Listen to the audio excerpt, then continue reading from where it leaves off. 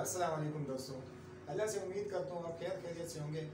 बहुत से भाई ने मुझे कमेंट में भी कहा था व्हाट्सएप पे भी मैसेज किए थे कि आप वास्कट के नाप की भी एक वीडियो हमें बना के दे दें। तो मैं, इंशाल्लाह, आज वास्कट के नाप की वीडियो बनाने जा रहा हूँ और इससे पहले आप चंद चीज़ों को समझ लें।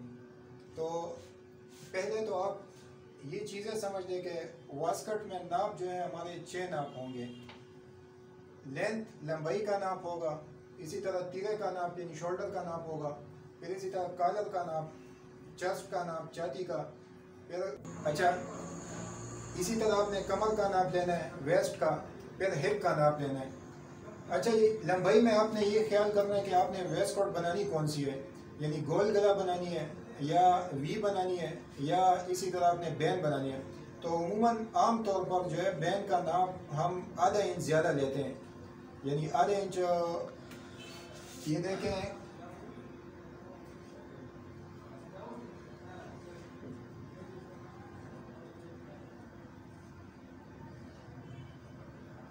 ये बैन वाला गला जो है, इसका नाप हम आधा इंच ज़्यादा लेते हैं। तो पहले तो आपने ये डिसाइड कर लेना है कि कौन सी वास्कट है ये। वी गला है या गोल गला है।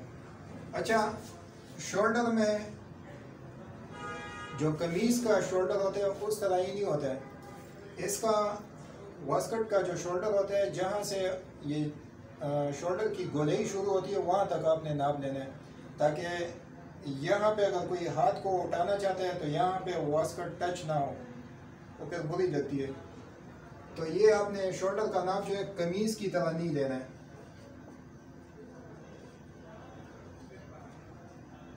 दूसरी बात ये होगी अच्छा कॉलर जो है कॉलर में भी, इंशाल्लाह मैं नाप में भी आपको बताऊँगा। कॉलर भी जैसा हम कमीज़ का नाप लेते हैं, उस तरह नहीं लेना है, बल्कि कमीज़ के ऊपर आपने इंच टेप ला के यहाँ पे नाप लेना है। क्योंकि ये वास्कट जो है, ये कमीज़ के ऊपर हम पहनते हैं। तो कॉलर में भी इस चीज़ का आपने ख्याल रखना है। इसी तरह चेस्ट का नाप है तो चेस्ट का नाप भी मैं इंशाल्लाह आपको बता दूँगा, और जितने भी नाप है, उसकी डिटेल में आपको नाप लेने के दौरान ही समझा, समझाऊँगा। अच्छा मेरे भाइयों, पहले तो आपने ये जहन में तय कर लेना है कि नाप हमने कौन सी वास्कट का लेना है। यानी आम गोल गले या बैन वाली वास्कट है। तो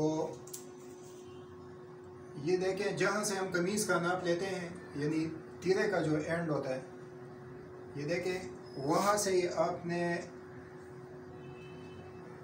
अगर गोल गला वेस्कोट है तो आपने फिर यहाँ तक नाप लेना है। ये अंगूठा आपको नज़र आ रहा है, यहाँ तक नाप लेना है। तो ये देखें, उनतीस आ रहा है।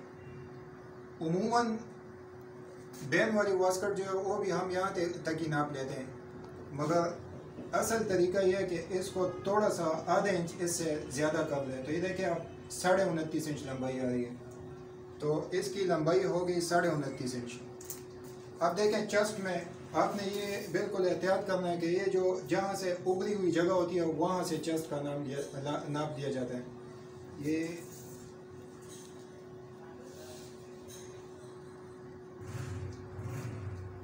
देखें आप। तो इसका चेस्ट का नाप देखें आप, साढ़े सैंतीस या पौने अठतीस इंच तकरीबन आ रहे हैं। पौने अठतीस इंच इसके चेस्ट का नाप है। अब यहाँ पे आप एक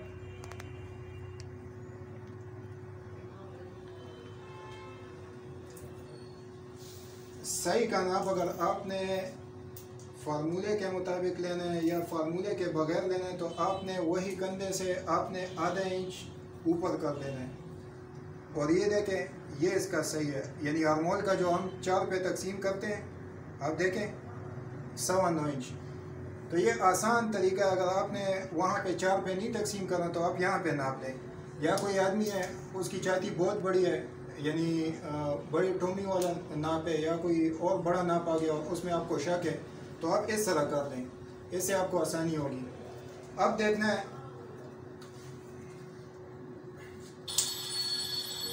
अब यहाँ पे देखें मेरे भाइयों, कमर का नाप हमने कहाँ पे लेना है? तो हाथ को थोड़ा सा बैंड कर ले। ये जो बैंड वाली जगह है, यहाँ पे आपने कमर का नाप लेना है। ये देखें जहाँ पे ये हाथ का बैंड जो है, यहाँ पे ये जोड़ जो है, वहाँ से आपने कमर का नाप लेना है। तो ये देखें, चौंतीस इंच आ रहे हैं।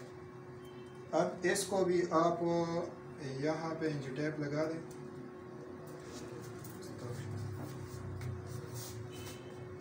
ये बात दोस्त मुझसे पूछते हैं पूछते हैं कि कमर का क्या फार्मूला होता है, नाप का? तो आप फार्मूला लेने की आपको ज़रूरत ही नहीं है। इससे आधे इंच आप इंच टैप ऊपर कर दें, ये देखें, आधा इंच। और यहाँ पे आप नापते हैं तो सोलह इंच इसकी कमर है। जहाँ पे ये हाथ का जोड़ होता है, उसी से, उसी के सामने आप देख लें। ये देखें, आधे इंच आप ऊपर कर दें आप, और यहाँ पे देखें, सोलह इंच इसका कमर आ रहा है। तो ये कमर का नाप हो गया। अब इससे आगे आप देखें, शोल्डर का नाप।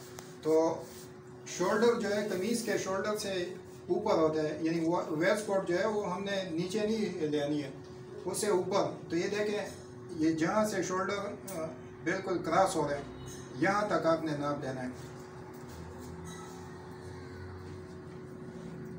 यहाँ पे देखें, इसकी शोल्डर आ रही है साढ़े सोलह इंच।